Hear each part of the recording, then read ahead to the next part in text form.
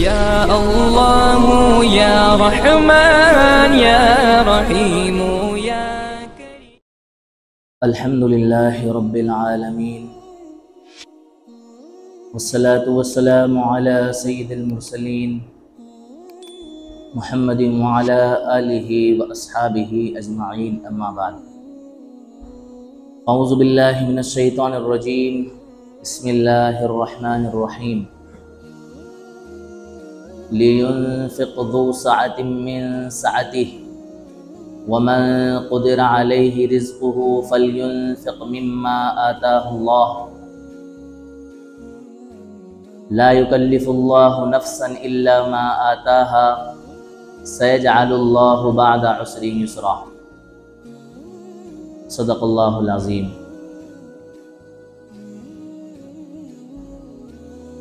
محترم عزیزوں اللہ تبارک و تعالی نے اس کائنات کا نظام کچھ اس طرح بنایا ہے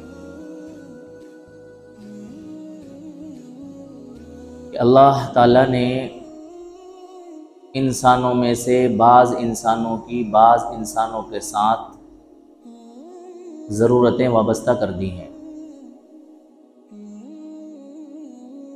یعنی ایک اکیلا انسان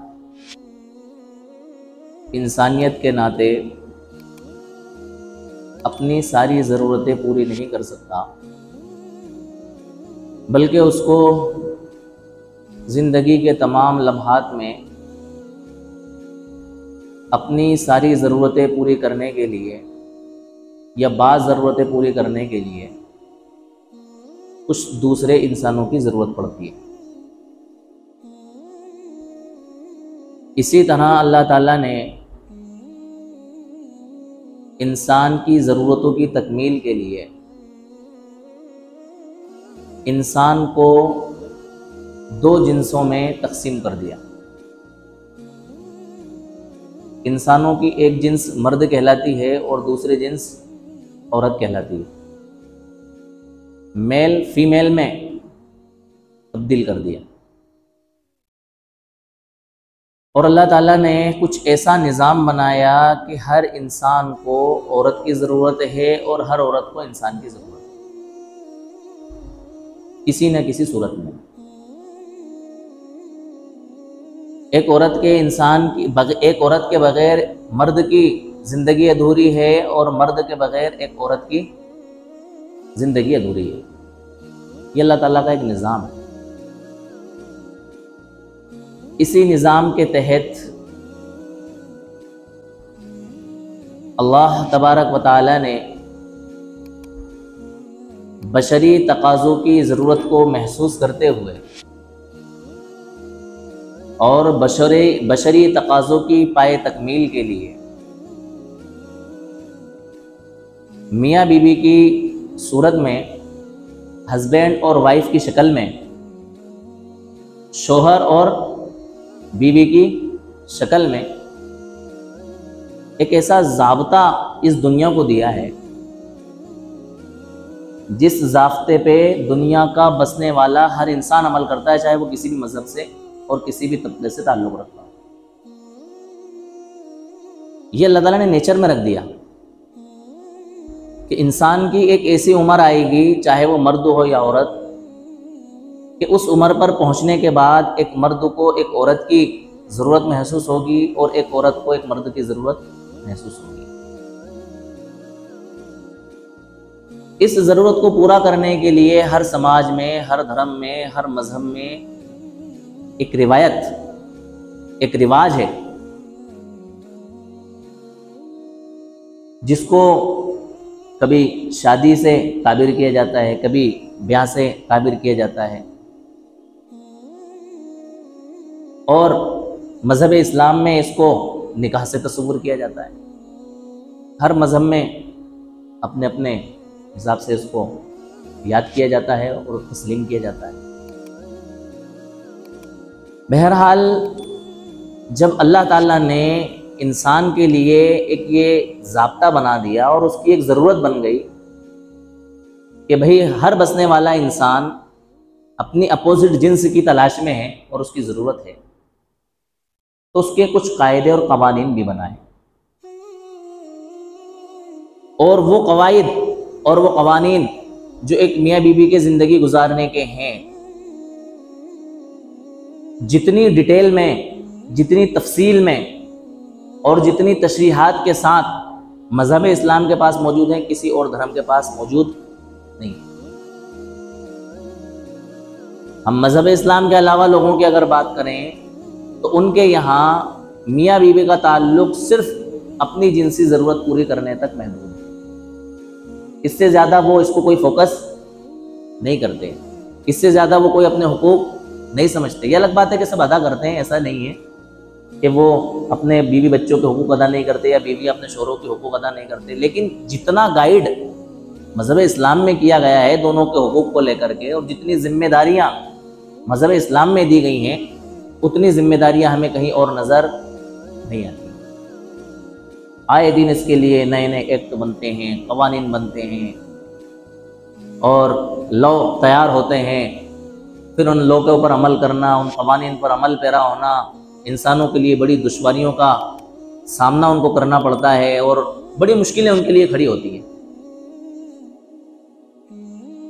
ابھی چند دنوں پہلے ہمارے یہاں بھی سپریم کورٹ نے ایک ایسا متنازع مسئلہ کھڑا کیا ہے کہ جس کی وجہ سے اس اس ملک میں بچنے، بسنے والے سارے بھارتی مسلمان تشویش کا شکار ہیں، تذبذب کا شکار ہیں۔ بڑی مشکل ایک طرح سے کھڑی ہو گئی ہے۔ اس مسئلے کو لے کر کے مسئلہ کیا ہے؟ اچھا اس سے پہلے میں آپ کو یہ بتا دوں کہ میرا بتانے کا مقصد یہ ہے کہ اس عنوان سے ہمارے سماج میں، ہمارے معاشرے میں بیداری عوام میں پیدا ہو جائے اور لوگوں کو جانکاری مل جائے کہ اس کی حقیقت کیا ہے، صحیح کیا ہے، غلط کیا ہے۔ اور دوسرے سماج اور مذہب کے لوگوں کو بھی سچائی اس کے متعلق پتہ چل جائے۔ مسئلہ یہ ہے کہ میاں بیوی جب تک ایک ساتھ ہیں تو ہر کوئی اس بات کو تصور کرتا ہے کہ بیوی کے سارے اخراجات کون اٹھائے گا؟ اس کا شوہر اٹھائے گا۔ کیونکہ وہ اس کی بیوی ہے۔ اس کی ماتحت ہے۔ اس کے حصے میں آئی ہے۔ لہٰذا اس کی یہ ذمہ داری بنتی ہے کہ وہ اپنی بیوی کے اخراجات ادا کرے اور ان کو پورا کرے۔ یہ ہر کوئی تصور کرتا ہے، ہر کوئی تسلیم کرتا ہے اور ہر کوئی مانتا ہے اور عقل میں آنے والی بات بھی ہے۔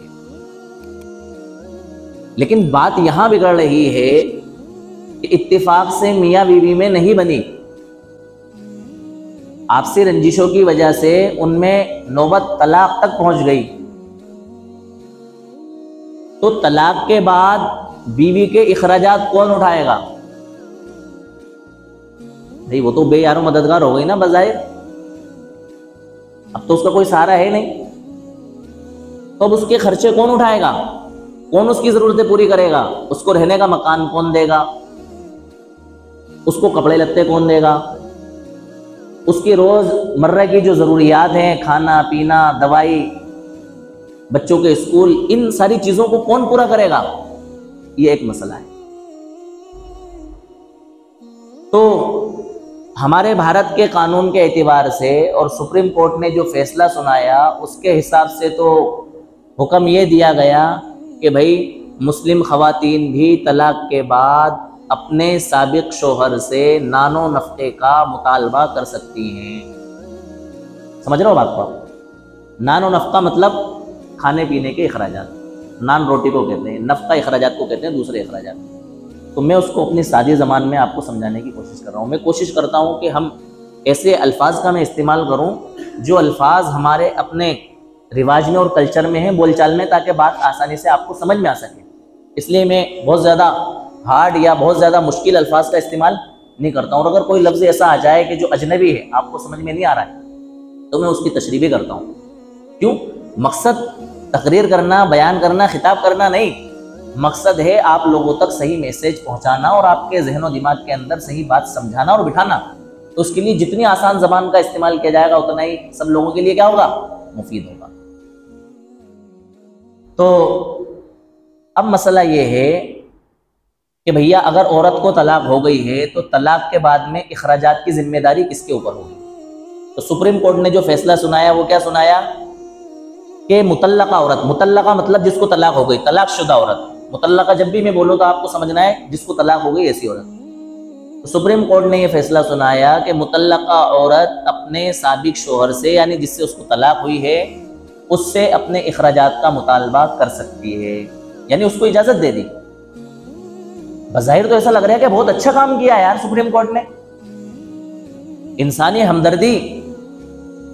اور گویا کہ ایک عورت کو پریشانیوں اور مشکلوں سے بچانے کا کام کیا۔ اس سے بہتر کام کیا ہو سکتا ہے؟ بھئی عورت ذات کہاں کمانے جائے گی؟ کہاں کیا کرے گی؟ کیسے اپنی ضرورتیں پوری کرے گی؟ وہ تو بے سہارا اور بے آسرا ہو گئی ہے۔ اب اس کے لیے تو مشکلیں کھڑی ہو گئی تھی۔ تو سپریم کورٹ نے تو اس کے حق میں یہ فیصلہ دے کے کہ وہ اپنے شوہر سے اپنے اخراجات لے سکتی ہے، وصول کر سکتی ہے۔ بہت خاندانی کام کیا۔ اس فیصلے کو نہ فہم، نہ سمجھ لوگ، جو کہ دین اور شریعت کے مزمرات سے اور اس کی مسلیتوں سے واقف نہیں ہے سراہ رہے ہیں اور بڑے خوش ہو رہے ہیں کہ بہت اچھا سپریم کورٹ نے یہ فیصلہ سنا ہے لیکن شریعت اور انصاف کے آئینے میں اس کی حقیقت کیا ہے وہ انشاءاللہ ہم آج سمجھیں گے کہ شریعت اس جگہ پر کیا کہہ رہی ہے اور انصاف کا تقاضا کیا ہے سمجھ رہا ہوں نا بات کو؟ اس کو سمجھنے سے پہلے ہمیں کچھ اصولی باتیں سمجھنا پڑیں گی۔ اصولی باتیں یہ ہیں کہ کسی بھی انسان کے ذمے کسی دوسرے انسان کا خرچہ تین باتوں کی وجہ سے واجب ہوتا ہے۔ کتنی باتوں کی وجہ سے؟ میرے ساتھ دہراتے جائیں۔ تین باتوں کی وجہ سے۔ نمبر ایک، قرابت۔ نمبر دو، ملکیت۔ نمبر تین، حبس۔ قرابت کا مطلب رشتہ داری۔ ملکیت کا مطلب کسی چیز کا مالک ہونا۔ حبس کا مطلب کسی چیز کو اپنے قبضے میں رکھنا، اس کو اپنی پابندی میں رکھنا۔ کسی بھی انسان پر قرابت کی وجہ سے کسی انسان کا خرچہ واجب ہوتا ہے، اس کے دو بنیادی اصول ہیں۔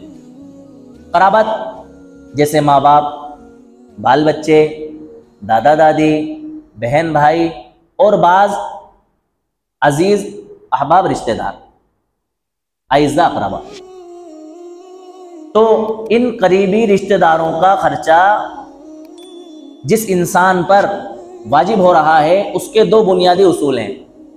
دو بنیادی اصول یہ ہیں کہ یہ رشتہ دار جن کا میں نے ذکر کیا، یہ خود اپنی کفالت کرنے سے قاصر ہیں۔ سب سے پہلی بات یعنی بچے اتنے چھوٹے ہیں کہ وہ خود کما نہیں سکتے۔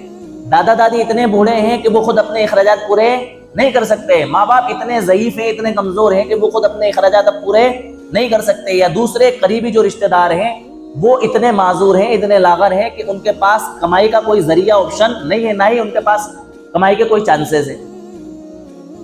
تو ان لوگوں کے اخراجات اس شخص پر واجب ہوں گے۔ پھر ایک شرط ساتھ میں یہ ہے کہ وہ خود انسان جس کے اوپر اخراجات واجب ہو رہے ہیں، اپنی ضروریات پوری کرنے کے بعد ان کی کفالت کرنے پر قادر ہو۔ بات سمجھ میں آ رہی ہے؟ میں اپنی بات سمجھا پا رہا ہوں؟ دو باتیں۔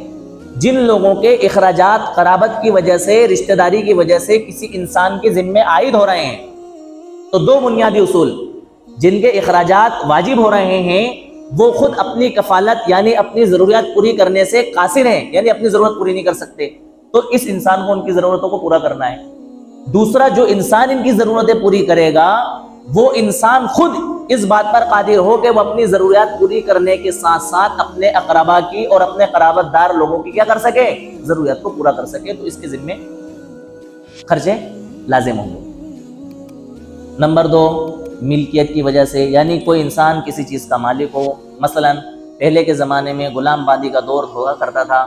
تو جس انسان کے ذمے جو انسان اپنے غلام اور باندی کا مالک ہوا کرتا تھا اس مالک کے ذمے اپنے مملوک یعنی غلام اور باندی کے اخراجات پورے کرنا واجب اور ضروری ہوا کرتے تھے۔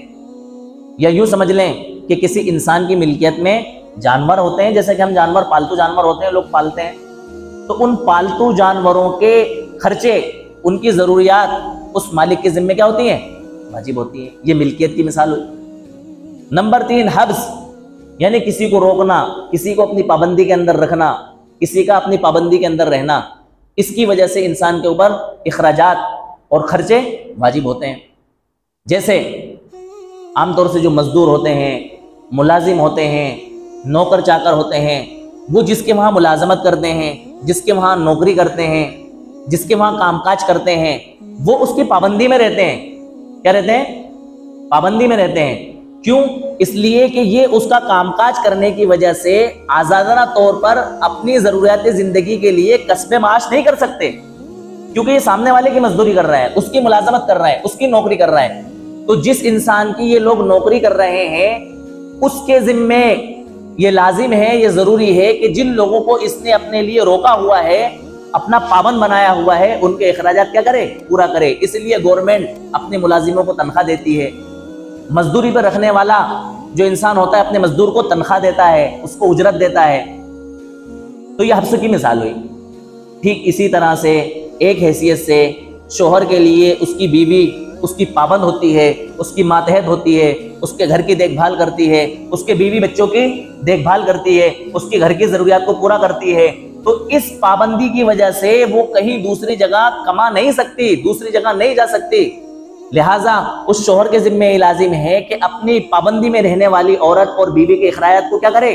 پورا کرے۔ اس لیے اس کے ذمہ یہ اخراجات نان و نفقہ اور ضروریات زندگی کیا ہوتے ہیں؟ واجب ہوتے ہیں۔ اب ظاہر سی بات ہے، جب عورت کو طلاق ہو گئی، تو طلاق ہونے کے بعد تو عورت مرد کے نکاح سے باہر ہو گئی۔ اب جب مرد کے نکاح سے باہر ہو گئی، تو وہ اس کے پاس قید و بند نہیں ہے۔ اس کی پابندی میں نہیں ہے۔ اس کی ماتحتی میں نہیں ہے۔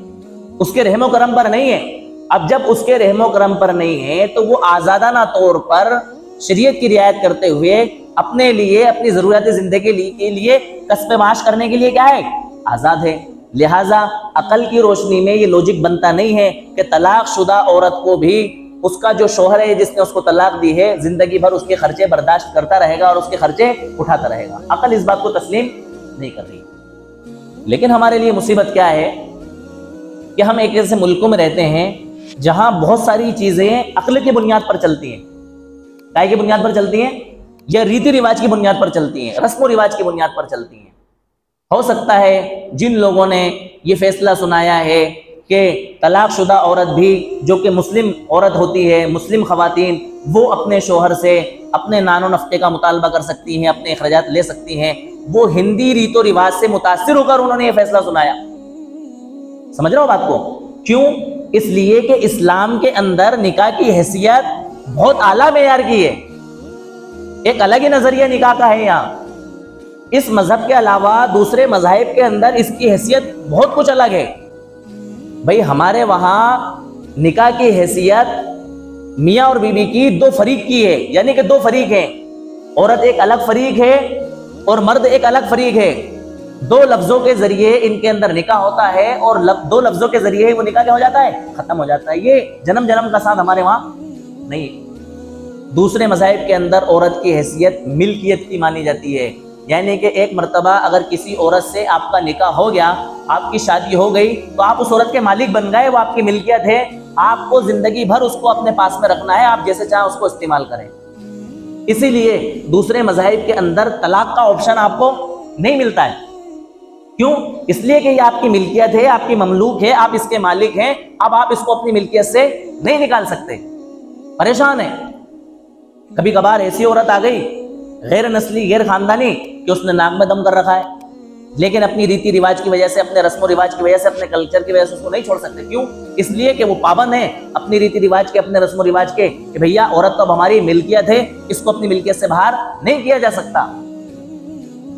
اسی لیے آپ نے سنا ہوگا کہ زمانہ جاہلیت میں پہلے کے لوگ ہندو مذہب کے ماننے والے، جب اس کے عورت کے شوہر کا انتقال ہو جاتا، تو عورت، کیونکہ شوہر کی ملکیت ہوا کرتی تھی، جب شوہر نہیں رہا، تو عورت بھی نہیں رہتی اور ان کے اندر یہ کلچر تھا کہ شوہر کی چتا کے ساتھ عورت کو بھی زندہ جلا دیا جاتا تھا، ختم کر دیا جاتا تھا کہ جب اس کا مالک ہی نہیں بچا تو اس کو باقی رکھ کے کیا کریں گے؟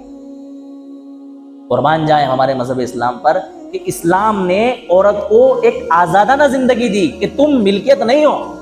تم مملوک نہیں ہو۔ تمہیں اپنا غلام نہیں بنایا جا سکتا، تمہیں خریدا نہیں جا سکتا۔ تمہیں زندگی بھر کے لیے اپنے پیروں کی جوتی نہیں بنایا جا سکتا۔ بھائی تمہارا کسی شخص سے نکاح ہوا ہے، بہت اچھی بات ہے۔ اسلام کی کوشش ہوتی ہے۔ دونوں کو مساوی حقوق دیے ہیں شریعت نے کہ آپ اپنا نباہ کرو۔ حتی الامکان آپ کوشش کرو کہ آپ دونوں میاں بیوی کے درمیان کیا ہو؟ نباہ ہو۔ لیکن اتفاق کی بات ہے کہ کبھی کبھار ایسے حالات بن جاتے ہیں کہ بننے کا نام ہی نہیں لے رہا ہے۔ آدمی خوب کوشش کر رہا ہے کہ حالات بنے سمجھوتا ہو، دونوں میاں بیوی رہیں، آپس میں پیار محبت سے زندگی گزاریں، لیکن بیوی ٹسمس ہونے کو تیار نہیں ہے، سدھرنے کو تیار نہیں ہے، تو بتاؤ ایسی بیوی کا انسان کیا کرے؟ اب اگر اس کے اوپر پابندی لگا دی جائے کہ تم اپنی بیوی کو نہیں چھوڑ سکتے، اپنی بیوی کو ڈیورس نہیں دے سکتے، اپنی بیوی کو طلاق نہیں دے سکتے، تو وہ تو اس عورت کی حالت اس سے زیادہ بدتر کر دے گا جو ابھی تک اس نے حالت بنائی ہوئی۔ بعض مرتبہ عورت بہت خاندانی ہے، بہت اچھی ہے، لیکن آدمی بہت خراب مل گیا اس کو۔ نشے کرتا ہے، کماتا نہیں ہے، مت کمیرا ہے، جواری ہے، سٹوری ہے۔ اور جتنی برائیاں دنیا کی ہو سکتی ہیں، وہ سب ہے۔ وہ بیوی کو بیوی نہیں سمجھتا، بچوں کو بچے نہیں سمجھتا، ان کی ضرورت کو پورا نہیں کرتا۔ تو بتاؤ، ایسی عورت، ایسے مرد کے پاس میں رہ کر کے کیا کرے؟ اب اگر طلاق کا آپشن نہ دیا جائے، تو اس کی تو زندگی جہنم بن جائے گی۔ تو بہت کچھ مجبوری کے درجے میں کہ بھائی، آپ کے اندر ہم آہنگی نہیں ہو رہی ہے۔ آپ کا مزاج آپس میں نہیں مل رہا ہے، آپ کی زندگی خوشحال کی بجائے بدحالی کے اندر گزر رہی ہے اور آپ کا سکون ختم ہو کر کے بدسکونی آپ کے اندر پیدا ہو گئی ہے۔ اب اس کے لیے کوئی آپشن تو ہونا چاہیے نا۔ بھائی، انسان تو سکون میں رہنا پسند کرتا ہے، ساری محنت انسان کس لیے کرتا ہے؟ تاکہ میں سکون سے رہوں۔ اور میری زندگی بھاگ دوڑ میں پریشانی میں گزر جائے، لیکن میری نسلیں کیا رہیں؟ سکون میں رہیں۔ اسی لیے انسان محنت کرتا ہے نا۔ اور عورت سے گھر کا سکون ہے۔ عورت جب گھر کے اندر خاندانی ہوتی ہے اور عورت گھر کے ماحول کو پرسکون بناتی ہے، تو گھر کے اندر ایٹومیٹکلی سکون پیدا ہو جاتا ہے اور جب عورت گھر کے ماحول کو خراب کر دیتی ہے، وہ ماں کا سکون برباد کر دیتی ہے، تو گھر کھانے دوڑتا ہے اور گھر کا سکون برباد ہو جاتا ہے، تباہ و برباد ہو جاتا ہے۔ تو مذہب اسلام کے علاوہ کسی اور مذہب میں طلاق کا آپشن نہیں ہے۔ اتنی بڑی دولت ہمیں ملی ہوئی ہے، یہ پسندیدہ چیز نہیں ہے طلاق، کہ ہم بات بات میں طلاق دے دیں، ہنسی مذاق میں طلاق دے دیں۔ یوں ہی ہم طلاق کو کھلونا بنا لیں، یہ بہت مجبوری کے درجے میں یہ آپشن ہمیں ملا ہے کہ اگر بات بہت زیادہ بگڑ جائے، قابو سے باہر ہو جائے، تو آپ کو یہ آپشن ملا ہے کہ اس آپشن کا اختیار کر کے آپ دونوں میں بھی کیا ہو سکتے ہو؟ الگ ہو سکتے اب ہو یہ رہا ہے کہ دوسرے مذاہب کے اندر تو طلاق ہے نہیں۔ جب طلاق ہے نہیں، تو طلاق کے بعد کے جو احوال ہیں، وہ احوال بھی ان کے دھرم میں، ان کے مذہب میں نہیں بتائے گئے ہیں کہ بھئی طلاق شدہ عورت کیسے زندگی گزارے گی۔ اب ہمارے یہاں طلاق کا آپشن ہے، تو اس کی وجہ سے گیروں کو بڑی دکھ اور تکلیف ہے کہ بھئی مذہب اسلام کے اندر طلاق ہے اور آسانی سے کوئی بھی آدمی جاتا ہو، پھٹافٹ تین طلاق اپنی بیوی کو دے دیتا ہے، وہ بیوی حرام ہو جاتی ہے، پھر اس کے بعد حلالہ ہے، وغیرہ وغیرہ۔ یعنی کہ ایک تماشا اور ایک مذاق بنا لیا گیا طلاق کے آپشن کو اور طلاق کی بات پھر اس کے بعد میں یہ ہوتا ہے کہ طلاق اتنا آسان ہماری سماج نے اور قوم نے سمجھ لیا کہ چھوٹی چھوٹی باتوں کے اندر طلاق دے رہا ہے۔ چھوٹی چھوٹی باتوں کے اندر تین طلاق منہ سے نکال دی، معاملہ بگڑ گیا، پھر اس کے بعد میں ادھر ادھر بھاگ دوڑ کرتے پھر رہے۔ ہیں تو کچھ خواتین، کچھ لوگ اس طرح کی باتوں کو لے کر کورٹ میں جاتے ہیں۔ پھر کورٹ ان باتوں کو سنتا ہے، سمجھتا ہے، پھر اس کے حساب سے قوانین بناتا ہے اور پھر سارا معاشرہ پریشانی کے اندر اور تکلیف کے اندر آتا ہے۔ اب آپ حقیقت سمجھیں کہ جن لوگوں کے یہاں طلاق کا آپشن نہیں ہے، ان کے وہاں کتنی ساری خرابیاں اور کتنی ساری پریشانیوں کا ان کو سامنا کرنا پڑ رہا ہے، وہ جانتے ہیں۔ طلاق نہیں دے سکتے، عورت کیس کر دے گی۔ اور عورت طلاق دے سکتی ہے۔ اللہ کا شکر ہے، ہمارے وہاں تو عورت کو طلاق کا آپشن نہیں دیا۔ اگر عورت کو طلاق کا آپشن دیا جاتا تو دن بھر میں پتہ نہیں کتنی طلاق دیتی۔ طلاق کا آپشن مردوں کو دیا کہ بھئی یہ تھوڑی سمجھ بوجھ رکھتا ہے، جانکاری رکھتا ہے۔ بردوبار ہے، سمجھدار ہے، صبردار ہے، یہ تھوڑا موقع محل دیکھ کر کے بہت زیادہ پریشان ہوگا تو طلاق کا قدم اٹھائے گا، ورنہ طلاق کا قدم نہیں اٹھائے گا۔ اگر عورت کو آپشن دے دیا جاتا، عورت نے ڈیمانڈ کری کہ بھئی میرے کو تو ایک جوڑا لانا ہے آج۔ شوہر نے کہا، میرے پاس تو پیسے ہی نہیں۔ کہ نہیں، میرے کو لانا ہے، کہیں سے بھی لا کے دو۔ کہا، بھائی نہیں ہے، اگلے مہینے لے لینا، میری تنخواہ آئے گی، میں پیسے لاؤں گا، کماؤں گا، محنت کروں گا۔ نہیں، میرے کو تو آج ہی چاہیے۔ اور اگر میرے کو جوڑا نہیں دلاتے تو میں تمہیں کیا دیتی ہوں؟ طلاق دیتی ہوں۔ طلاق ہو جاتی۔ لیکن شریعت نے عورت کو طلاق کا آپشن نہیں دیا۔ بہرحال شریعت نے جب ہمیں طلاق کا آپشن دے دیا، تو طلاق کے بعد عورت کی زندگی کیسی گزرے گی؟ اس کا بھی ہمیں طریقہ بتلایا۔ عورت کو بے یار و مددگار تھوڑی چھوڑا، بے سہارا تھوڑی چھوڑا کہ بھئی طلاق کے بعد میں اب عورت کے ساتھ کیا معاملہ کیا جائے گا؟ اس کی زندگی کیسے گزرے گی؟ اس کے اخراجات کیسے پورے ہوں گے؟ اب لوگوں کو دھوکہ یہ لگا ہے کہ جن کے وہاں طلاق کا آپشن نہیں ہے، تو طلاق کے بعد عورت کی زندگی کیسے گزرے گی؟ اس کی تعلیمات اور اس کی گائیڈ لائن بھی نہیں ہے، تو وہ تشویش کا شکار ہیں کہ بھیا ہمارے وہاں جب طلاق نہیں ہے تو طلاق کے بعد عورت کی زندگی گزرنا بظاہر جیسے ہمیں لگتا ہے کہ بہت مشکل ہوگا۔ اسی طرح سے مسلم خواتین کے لیے بھی اس کی زندگی گزرنا بہت مشکل ہوگا۔ لہٰذا ہم یہ فیصلہ دیتے ہیں کہ عورت طلاق کے بعد بھی زندگی بھر اپنے نان و نفقے کا، اپنے اخراجات کا، اپنے شوہر سے کیا کر سکتی ہے؟ مطالبہ کر سکتی ہے، جو کہ شریعت کے اور انصاف کے بالکل خلاف ہے۔ کیسے؟ ان باتوں کو میں آپ کو سمجھانا چاہتا ہوں۔ فرض کریں، کسی انسان نے اپنی عورت کو طلاق دے دی۔ یہ طلاق دینے کا پلان تھا۔ عورت کی حرکتوں سے مجبور ہو کر کے پریشان ہو کر کے۔ میں پھر کہہ رہا ہوں کہ طلاق دینا مذہب اسلام کے اندر سب سے زیادہ گندا، سب سے زیادہ غلیظ اور سب سے زیادہ ناپسندیدہ کام ہے۔ شریعت میں طلاق کو پسند نہیں کیا گیا ہے۔ حتی الامکان رشتہ نبھانے کی، رشتہ جوڑے رکھنے کی اور میاں بیوی کے سمجھوتے کی کوشش کی گئی ہے۔ وقت نہیں ہے ورنہ میں ڈیٹیل میں بتاتا اور پہلے بتا چکا ہوں۔ لیکن طلاق دے دی۔ اگر یہ قانون بنا دیا گیا کہ طلاق کے بعد میں عورت اپنے شوہر سے زندگی بھر اخراجات لے گی، وصول کرے گی، تو بتاؤ کوئی انسان اپنی بیوی کو طلاق دے گا؟ نہیں طلاق دے گا۔ اب اس قانون کی وجہ سے مرد کی نفرت اس عورت کے تئیں اور زیادہ بڑھ جائے گی۔ کیونکہ وہ تو پہلے ہی سے ہی پریشان ہے۔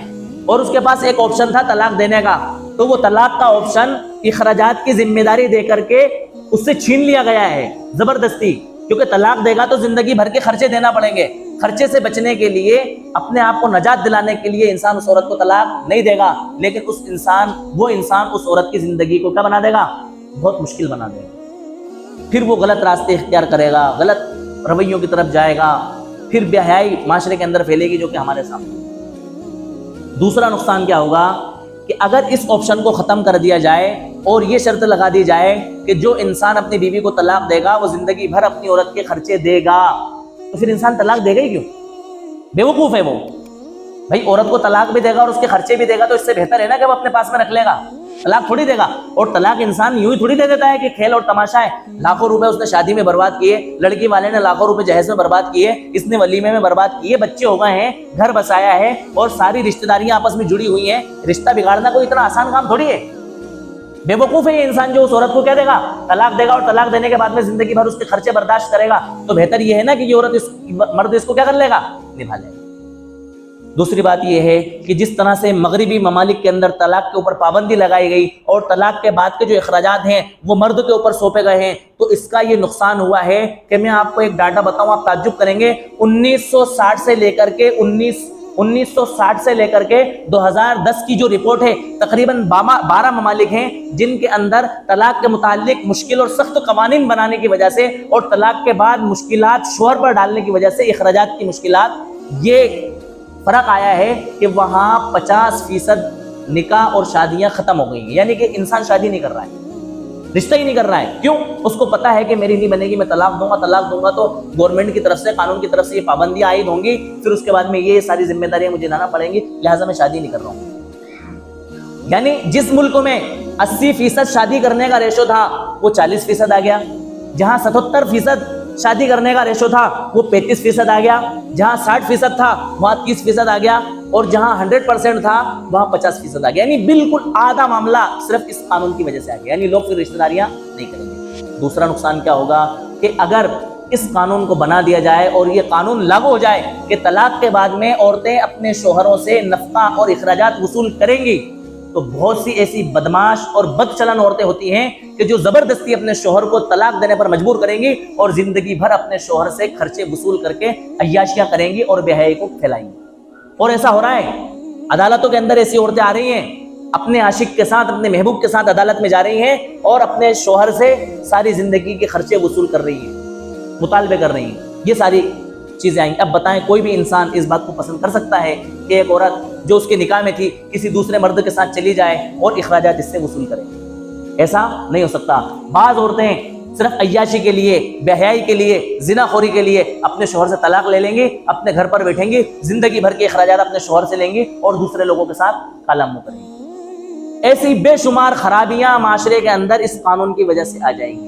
لہٰذا ہماری قوم کو یہ چاہیے کہ طلاق کے عنوان سے اپنے اندر شعور پیدا کرے، بیداری پیدا کرے اور معاشرے کو جاگروک کرے، سمجھائے اور معاشرے کے اندر یہ باتیں واضح کرے کہ دیکھو، طلاق کوئی چھوٹا موٹا کام نہیں ہے، اس کو دینا نہیں چاہیے اور اگر دے دی جائے تو ہماری شریعت کیا کہتی ہے؟ ہمارا قانون کیا کہتا ہے؟ ہمارا اسلام کیا کہتا ہے؟ ان ساری چیزوں کے اوپر عمل کیا جائے۔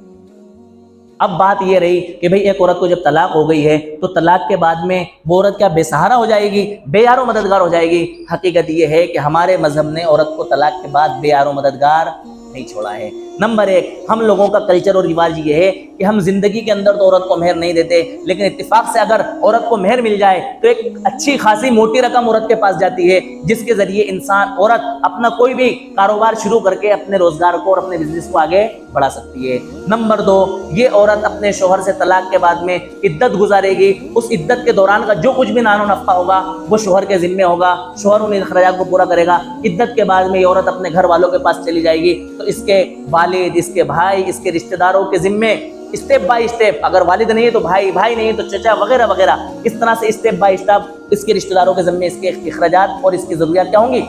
لگیں گی۔ ان کے ذمہ عائد ہوں گی کہ وہ اس عورت کی کفالت کریں اور اس کے اخراجات کو کیا کریں؟ پورا کریں۔ نمبر تین، اگر وہ عورت بچوں والی ہے تو اگر لڑکے ہیں تو آٹھ سال کی عمر تک اور اگر لڑکیاں ہیں تو بالغ ہونے کی عمر تک شریعت کا ضابطہ یہ ہے کہ ان کی پرورش عورت کرے گی۔ تو شوہر کے ذمہ یہ لازم ہے کہ اپنے بچوں کی ساری ضروریات اور بچوں کی ضروریات کے ساتھ ساتھ اپنی بیوی کی ضروریات بچوں کے بالغ ہونا تک اور ان کے بڑے ہونے تک کس کو دے گا؟ عورت کو دے گا۔